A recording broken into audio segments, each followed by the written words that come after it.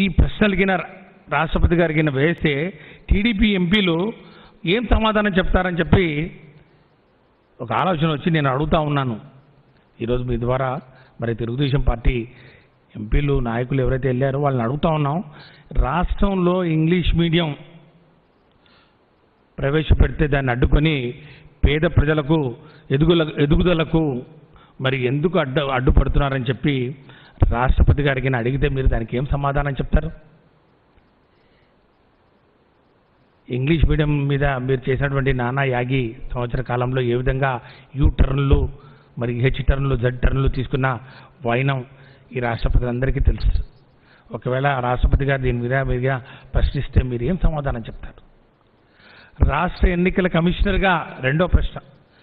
రాష్ట్ర ఎన్నికల కమిషనర్గా ఒక దళితుణ్ణి ఒక రాజ్యాంగ న్యాయ నిపుణుని మరి నియమిస్తే ఆ నియామకం కుదరదు.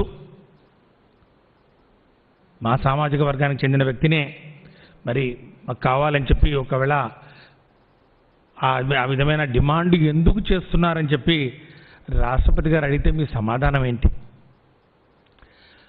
మూడో ప్రశ్న పరిపాలనా వికేంద్రీకరణ అన్ని ప్రాంతాల సమాన అభివృద్ధి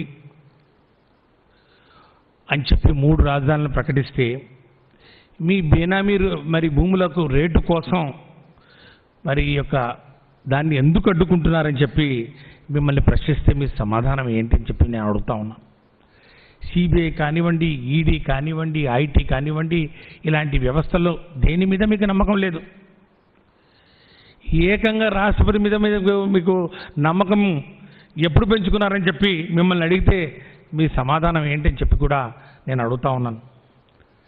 చంద్రబాబు నాయుడు గారి పిఎస్ ఇంట్లో శ్రీనివాస్ గారి ఇంట్లో మరి సోదాల తర్వాత హవాలాకు సంబంధించినటువంటి సొమ్ము ఏకంగా రెండు వేల కోట్ల లావాదేవీలకు సంబంధించిన ఆధారాలు కనుగొన్నామని చెప్పి చెప్పారు.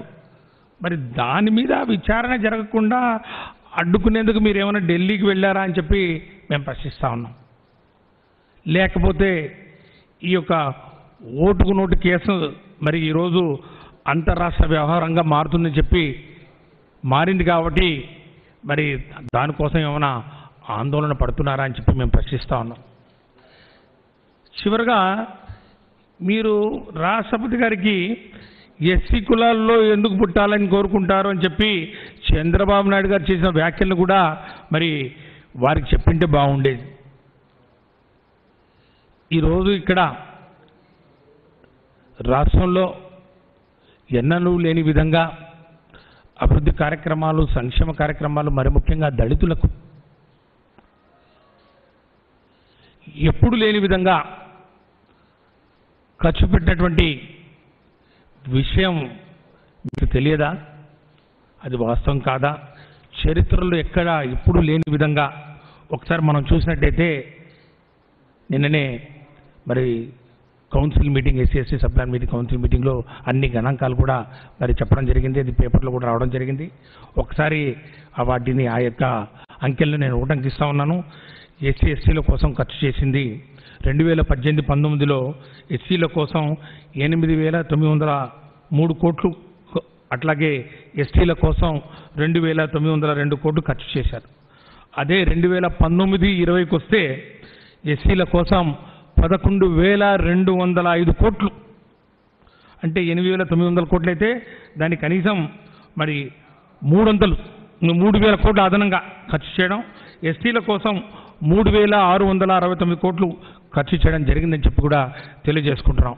ఇక ఈ ఏడాదికి వస్తే ఇరవై రెండు వేల ఇరవై ఇరవై ఒకటికి సంబంధించి మరి కొత్తగా అమలు చేస్తున్నటువంటి కార్యక్రమాలు రెండు ఉన్నాయి. ఏవి?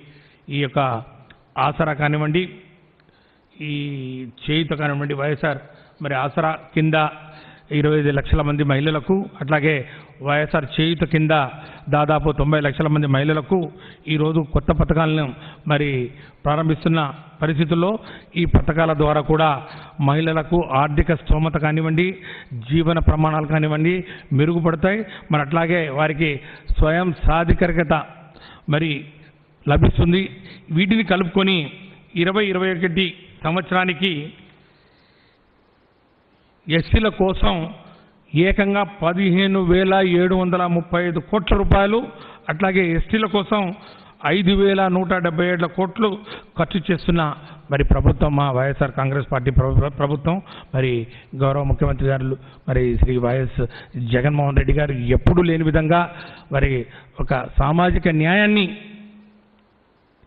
ఎంత ఎత్తుకు తీసుకుపోయారంటే సుమారు డెబ్బై ఏడు లక్షల మంది ఎస్సీలకు ఇరవై నాలుగు లక్షల మంది ఎస్సీలకు మొత్తంగా కలిపితే కోటి మంది ఎస్సీ ఎస్టీలకు లబ్ధి చేకూర్చే విధంగా మరి ఈరోజు సంక్షేమ కార్యక్రమాల్ని మరి అమలు చేస్తూ ఉంటే ఇది ఓర్ ఓ- మరి ఓర్చుకోలేక కడుపంటతోటి ఏదో విధంగా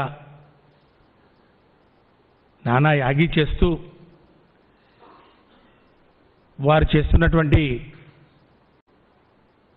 అవినీతి కార్యక్రమాల్ని ఎత్తి చూపిస్తూ ఉంటే వాటి నుంచి తప్పించుకోవడానికి ఈ రాష్ట్ర ప్రజల దృష్టి మరల్చడానికి ఒక వినతి పత్రం తీసుకొని రాష్ట్రపతి దగ్గరికి వెళ్ళి ఒక నాటకీయంగా ఈ డ్రామా చేస్తున్న పరిస్థితి రాష్ట్ర ప్రజలందరూ చూస్తూ ఉన్నారు. అందుకేనేమో బహుశా మరి కొన్ని పేపర్లు నేను చూడడం జరిగింది. మరి రాష్ట్రపతి గారు వీరికి ఒక సూచనలు కూడా చేయడం జరిగింది. మీరు పార్లమెంట్లో ఈ అంశాలను లేవనెత్తండి లేకపోతే సంబంధిత మంత్రిత్వ శాఖలకు ఈ విషయం గురించి చెప్పండి అని చెప్పారు. అంటే మరి ఎక్కడ ఏం మాట్లాడాలో ఎక్కడ ఏ విషయాలు చెప్పాలో మరి వారు ఆలోచన లేకుండానే ఈరోజు చెప్పింది ఒకటి బయటకు వచ్చి ఇంకోటి మరి పత్రికలకు వచ్చి ఇంకోటి చెప్పడం దీన్ని బట్టి మనకు చాలా స్పష్టంగా బయటపడతా ఉంది. Música